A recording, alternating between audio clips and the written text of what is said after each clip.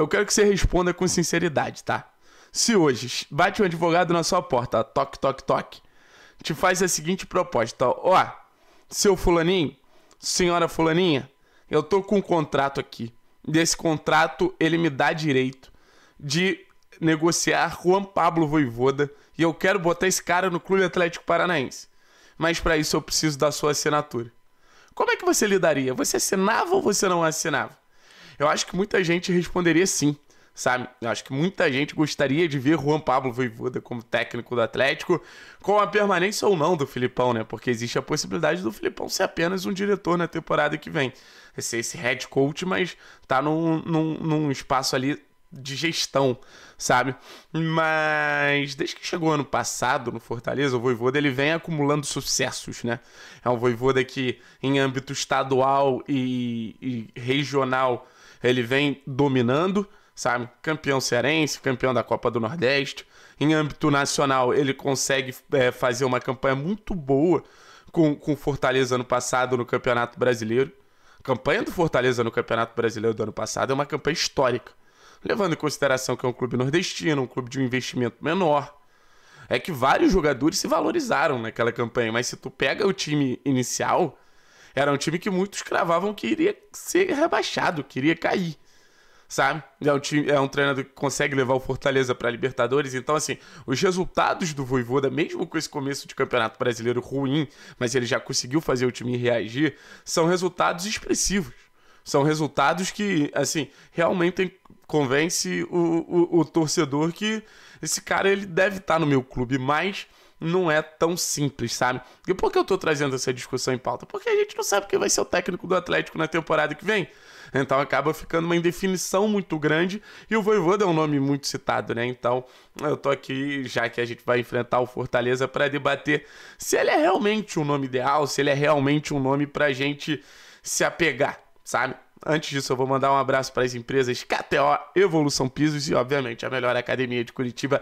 United Gym tá querendo emagrecer, tá querendo entrar naquele projeto verão, opta pela United Gym que você não vai se arrepender. Os melhores equipamentos, a melhor estrutura para você ficar literalmente fit. Beleza, rapaziada? Seguinte, mandar um abraço pro meu querido Arno Bach também. É, vamos trocar uma ideia sobre o, o, o porque muita gente tem a ideia de um técnico ofensivo. E parece que pro treinador é, do Atlético em 2023, não ser ofensivo não é uma opção. O treinador ele precisa ter uma estrutura diferente do que a gente vê basicamente nas últimas duas temporadas, sabe? Não adianta papinho de jogo reativo, não adianta papinho de jogo eficiente.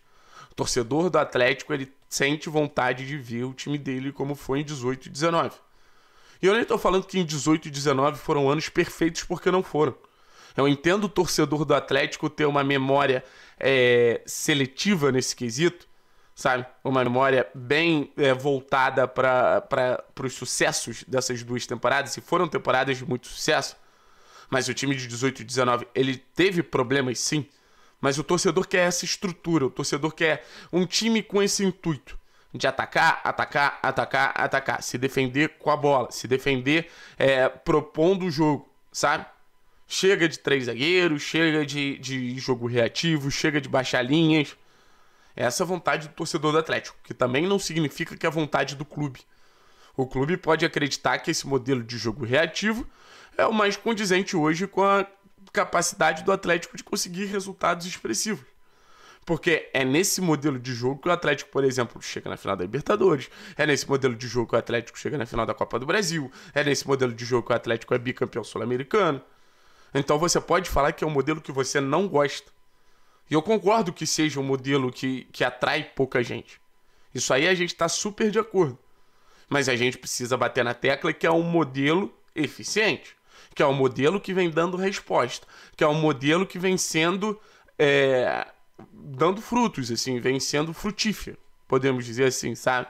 Então acho que esse é o primeiro ponto. Como o Atlético quer jogar em 2023? A torcida já deixou o, a vontade dela extremamente expressa. Agora falta o, o, o clube entender como vai ser. Quem vai tomar essa decisão? Será que vai ser o Filipão? Será que vai ser outros profissionais? Fica aí a dúvida. Não é uma certeza. A gente ainda tá num conceito de dúvida, sabe? Aí, beleza. É... O voivô desse cara, eu acho que a gente precisa entregar ao torcedor do Atlético alguns fatos. Por exemplo, no Campeonato Brasileiro, o Atlético é um time que fica pouco a bola. Acho que é o terceiro time que menos fica com a bola. O Voivoda, ele fica, assim, não fica muito atrás, o time do Voivoda. O time do Voivoda não é aquele time que propõe jogo. Time do Voivoda é um time que baixa a linha e joga de maneira reativa. Foi assim nos melhores momentos. Quando Fortaleza precisou ter domínio dos jogos, o Fortaleza fez um início de brasileiro muito ruim. Quando Fortaleza precisou ser um time mais propositivo, o Fortaleza ele capengou. Fortaleza sempre foi um time muito vertical, sempre foi um time muito bem treinado. Isso a gente precisa é, deixar claro. Sempre foi um time com muitos mecanismos. Sempre foi um time com dois, três, quatro toques na bola e chegava na área adversária. E, e tinha jogadores para isso, né? Tinha, não tinha jogadores tão bons, mas tinham jogadores velozes, tinham jogadores ofensivos. Então, assim, é, é o primeiro ponto. Se o Voivoda em algum momento acertar com o Atlético, não que seja uma opção, mas debatendo o nome, não vai ser um Atlético que vai ter 50, 60, 70% de posse de bola. Vai ser um Atlético que vai continuar com 45. Mas talvez seja um Atlético mais objetivo. Eu acho que o grande mérito desse Fortaleza é ser objetivo e eficiente. Sabe?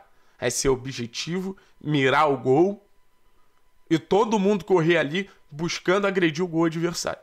Isso aí é um mérito de reconhecimento que o Voivoda precisa ter. Mas também não é um time que, por exemplo, finaliza muito mais que o Atlético, não, tá? Não é um time que finaliza muito mais que o Atlético. A gente tem que entender também que o, o, o Voivoda ele tem uma, um contexto que ele é o cara do time, velho. Os jogadores eles escutam o Voivoda como poucos. Será que no Atlético o Voivoda vai chegar e até com um, uma certa é, dificuldade ali de relação, e já tiveram alguns casos de dificuldade de relação do Voivoda, por exemplo, com o Kaiser, Será que ele vai conseguir convencer o grupo do Atlético? É um grupo que é de outro status do grupo do Fortaleza e nem menosprezando o grupo do Fortaleza. Isso faz parte mesmo da situação, sabe? Mas será que o Voivoda, ele tem esse jogo de cintura? Eu tenho minhas dúvidas. Eu tenho minhas dúvidas, sabe? Porque o, o, o treinador, ele é ali 25% um, um estudioso tático, ele é 75% um gestor de grupo. Por que o trabalho do Filipão é tão bom? Porque o trabalho do Filipão se baseia numa gestão de grupo muito forte. Porque o trabalho do Filipão se baseia numa gestão de grupo muito eficiente. Ter o diálogo claro ali com o seu grupo é fundamental, gente. Ter o diálogo claro ali com o seu grupo é fundamental. Sabe? Não adianta o. Não adianta o Filipão chegar com uma ideia e falar, ah, foda-se, agora vai ser isso e acabou. Não, tem que ter um mínimo ali de, de troca, sabe? Precisa ter um mínimo de troca. Eu tenho minhas dúvidas em relação ao Voivoda. Então a gente está falando de um técnico que não atende o que o torcedor do Atlético busca. A gente está falando de um técnico eficiente, a gente está falando de um técnico vencedor, a gente está falando de um técnico muito objetivo, a gente está falando de um técnico que potencializou muita gente. Lucas Crispim, Iago Pikachu, é, Matheus Jussa, porra, enfim, vários jogadores que já deixaram Fortaleza e, e foram ganhar dinheiro na vida deles tá ligado? Alguns jogadores ainda continuam no clube, Romarinho, porra, é, Galhardo, que também é um bom jogador, já, já chegou se adaptando bem ali. Por exemplo, algumas ideias do, do, do Voivoda. É um cara que usa três zagueiros. Será que o torcedor do Atlético tá disponível a ter três zagueiros? Usa lateral na zaga. O Tite é um o, o Tinga é um zagueiro, bicho. Será que o torcedor do Atlético estaria disponível a ter o Orejuela ali sendo esse cara? Por isso que eu falo, velho. Nada assim, é 100% bom e nada é 100% ruim. Eu gostaria de ver o Voivoda. Eu acho que ele é um treinador que tem qualidades, eu acho que ele é um treinador que tem uma boa capacidade de, de montar uma equipe forte, mas eu bato na tecla. Tem gente que supervaloriza. É difícil achar treinador no futebol brasileiro da maneira que o, que o atleticano quer, sabe? Ah, BKSS. Mas, cara, o BKSS quando treinou o Racing foi mal, o BKSS quando treinou o Independente foi mal, quando treinou a Laú foi mal. Assim, a gente sempre vai ter que ceder um pouquinho. E por isso que eu acredito que a sequência de um trabalho que já vem sendo feito por essa comissão talvez seja mais eficiente. Talvez seja um trabalho mais coerente dentro de um, de um objetivo que, que é transformar esse Atlético mais forte, que é um trabalho a longo prazo. Da mesma maneira que passou o bastão ao Turi, para Antônio Oliveira e de certa forma deu certo ali por um bom tempo, por que não passar o bastão Filipão para Turra e Wesley e ver tudo que vem sendo feito, um trabalho finalista de Libertadores seguir? É a minha opinião. Sobre o Voivoda, apresentei alguns fatos para vocês.